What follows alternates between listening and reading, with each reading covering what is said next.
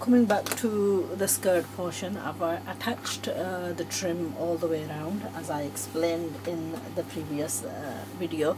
Now the gear of this uh, because there's so many 24 panels that are joined the gear is quite wide. It's about four and a half yards in width. And you can do simple math mathematics mm -hmm mathematics by multiplying the width of your each gully mm, by the amount of gulyas that you've inserted. So if each of these is 7 inches and you've inserted 24 then it's mathematics of 7 times 24 and you'll get your uh, and then divide it by 36 and you'll get the yardage of exactly how many yards uh, you've got okay.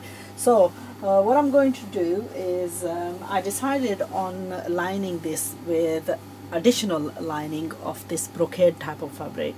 And this is going to give it a slight bit of a enhanced look whereas it was looking uh, fairly plain and dull and I wanted to actually give it a brighter look. I've gone for um, printed because the chiffon is very very fine and I needed to sort of give it volume and also give it a better look. And I didn't really fancy the plain.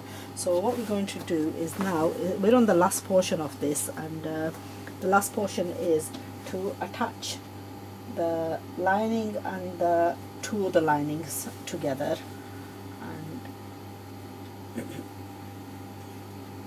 so we're going to do like a simple seam of attaching you know across and it's a slightly one is slightly loose and the other one is slightly you know but we can create a slight bit of um, ease in the top one to incorporate the bottom one.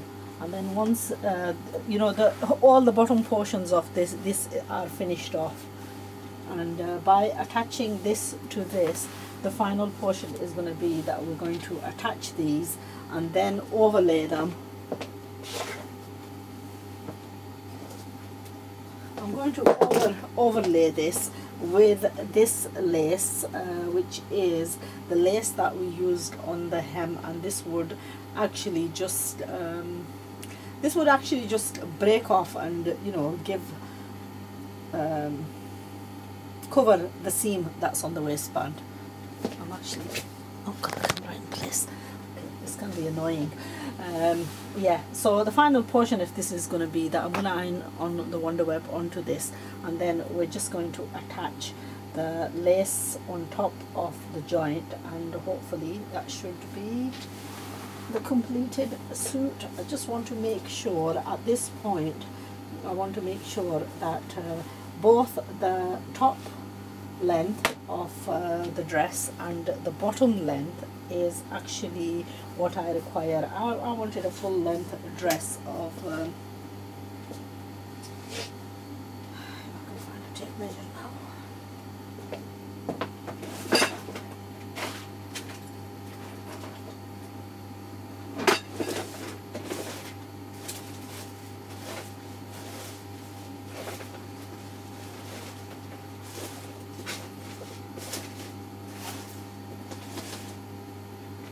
amazingly enough there normally is so many tape measures and there.